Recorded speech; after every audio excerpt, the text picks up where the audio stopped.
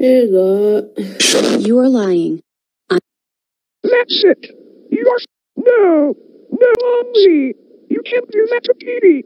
He is my friend. i'm not to interrupt.